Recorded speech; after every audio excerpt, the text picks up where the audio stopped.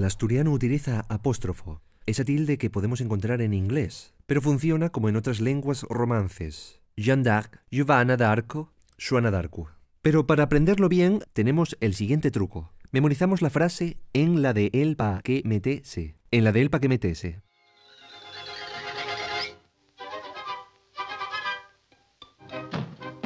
Comenzamos con la y pa. Solo apostrofan con la siguiente palabra si comienza por a o h más vocal a. Eso no valdría con hachaspira, como la jame, que equivale a la fame.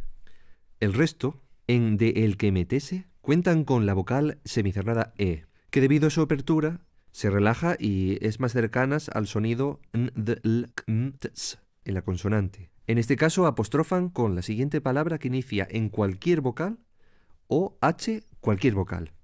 Tenemos la excepción con el que interrogativo, el que tiene el acento, la tilde. ¿Qué esguiló l'esguil? Digo que esguiló la viesca. Digo que esguiló el árbol.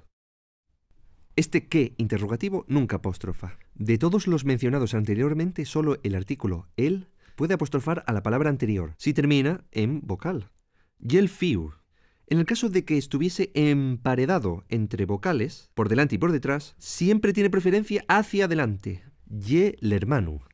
Que el vecín fale. Que el home fale. Hacia adelante. Cuidado no confundir con el pronombre él, el del acento, la tilde. Un escritor mejor que él, que no apostrofa, que él.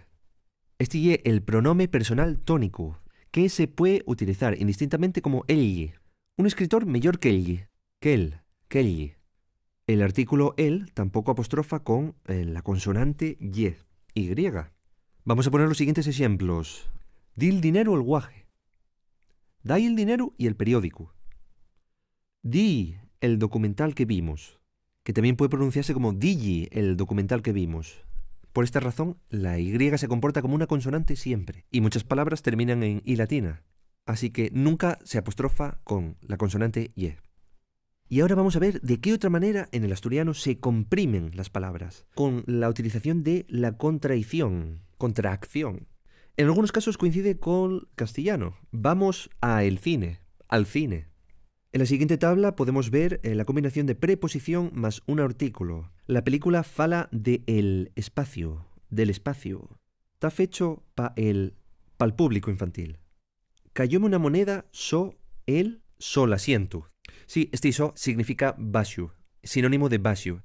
Lo podemos encontrar también en el castellano como eh, so pena de sanción económica, solomillo, so terrar, soportal. Para que nos acordemos, debajo de, debajo del portal, debajo de la tierra, so, bajo, debajo. Importante ahora, en algunos casos la contradicción forma una nueva palabra en lugar de ser una apostrofación o una unión momentánea de dos palabras. Y es muy curioso porque en la evolución del castellano desde el latín y del asturiano es diferente. En la expresión castellana ¿de dónde vienes? realmente estás diciendo de de dónde vienes. De la expresión de unde, en asturiano puedes decir du vienes, ¿dónde vienes? Aunque oralmente podemos escuchar en la geografía española expresiones como onde o ande, en asturiano sí son válidas, ande, como contradicción de a onde, pero que en español suena arcaico, vulgar o de risa, de comedia. A saber, anda andarás tú, ¿eh? ¿Ande vas? ¿Ande vas, vecino? ¿Ande vas? ¿Ande vas? ¿Ande vas? Pues ese es el problema. El mientras tanto y el ande andarán. En algunos casos, aunque se pronuncien igual, es importante diferenciar la contradicción y la apostrofación y no confundir su significado. Tenemos a continuación el siguiente ejemplo. Hay dellos carballos. Los carballos son dellos. En el primero, hay dellos, eh, se refiere a unos pocos de, equivalente a algunos pocos, con apostrofación en la expresión posesiva, de ellos. Bueno, voy a terminar con la tabla de antes. Fui al cine con el colamigo, colamiga. Fui al cine con lo colocaro que lle. En el nel salón, en la habitación, en lo nocimero de la casa. Pasé per el pel camín, pasé per la pelanueche, cortar per lo pelosano. Vini a por el polpán, vini a polpán, vini por la por la fogaza. Por lo, por lo menos, tenemos salud. Por supuesto, aclaro que esta región con rayas indica que no contraen. Y existen muchas otras combinaciones, como indefinido más artículo, donde se pueden romper en secuencias de distintos sintagma la preposición en y la preposición cada, también pronunciado ka, con indefinido un y sus derivados. Preposición en más pronome más demostrativo. También se puede dar el caso de preposición y adverbio, estos son opcionales, pk, pya, pi, pi, penbasio, pencima, penriba, o la unión de dos preposiciones, algo muy habitual en asturiano, ya que una preposición matiza o refuerza a la otra.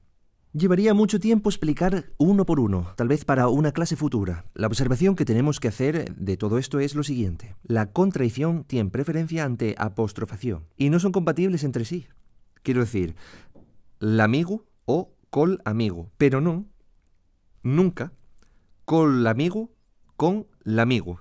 Excepción, cuidado, topónimos, títulos literarios o nombres artísticos, donde el artículo forma parte del nombre. Como ejemplo, ye de le entrego. La L va con el entrego porque es un topónimo. Pasó per les bories, no peles. Yeilo en la tierra entero, no na tierra entero, porque es un libro. La tierra entero. Yeilo en el hobbit, separado, no nel hobbit. Yeilo en el hobbit separado, nombre propio. Ya, como punto y aparte, aclaro la doble preposición pa en, no pan, ya que estos siempre van separados, y a en, que sí contrae en an. La combinación de pa en lo podemos encontrar precediendo a un gerundio. La visu deseámoslo pa en teniendo recibí les cartes. Y como doble preposición que nos indica algo para utilizar o consumir en. Por ejemplo, si dice guarda carbón en casa, puede que después lo utilice fuera. Guarda carbón pa casa Puede que lo guarde fuera en una carbonera, pero lo va a consumir en casa. Guarda carbón pa en casa. Literalmente para consumir o ser utilizado en casa. Y con en, que nos da an, fueron an pueblo Ana, que indica para estar en el pueblo de Ana. Vamos anca María. Caminaron hacia para quedar en casa María. El uso de an es muy habitual que preceda a casa, que lo podemos ver en su forma de apócope, ka, Vamos Anca María. Y esto nos introduce en el maravilloso mundo de los apócopes e intersecciones, algo muy característico de la lengua asturiana. Coles intersecciones de o, procedente de home, y ne, de nena. El archiconocido o y ne. El primero apócope para referirse a hombre o interactuar con un grupo de personas, en genérico, y ne para una chica, una mujer mayor. Ambas expresiones tienen un carácter desenfadado y amistoso. Bueno, segunda atracción, tipo troncos de agua y tal, chingando, ya has harinado. Bueno, segunda atracción, tipo troncos de agua y tal, chingando, ya has harinado. ¿Se ha harinado ducharte y tené? Ya has harinado. ¿Se ha harinado ducharte y tené? Era hora. Hala, vamos a otra montaña rusa a ver si nos da el aire para secar, porque vaya pinga, chaval. Y en muchos casos refuerzan o adornan la entonación del asturiano, el acento. ¡Calla, oh! Sí, oh. La entonación, sí, oh. Calla, oh. Ese característico descenso habitual que tenemos en la melodía. Sí, oh. Sí, oh. Home. Caro. Calla, oh. Ay, madre fía. Sí, Ay, ne. Ay, madre, ne. Ay, madre, ne. ¿Qué llené? Oye, ne. Ane. Vienes, ne. Vienes, ne.